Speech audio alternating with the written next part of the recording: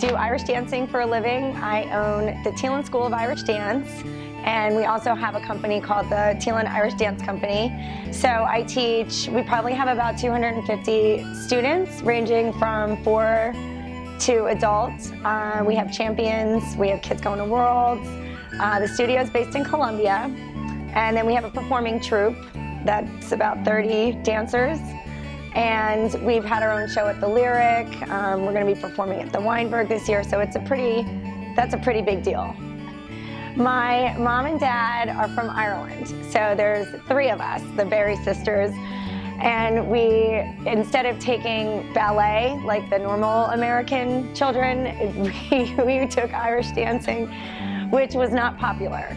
Um, it's before Riverdance, so it was actually kind of dorky, I think. You know, people didn't understand. They thought we were like little leprechauns. Um, but then Riverdance came out and it became popular, and now here we are.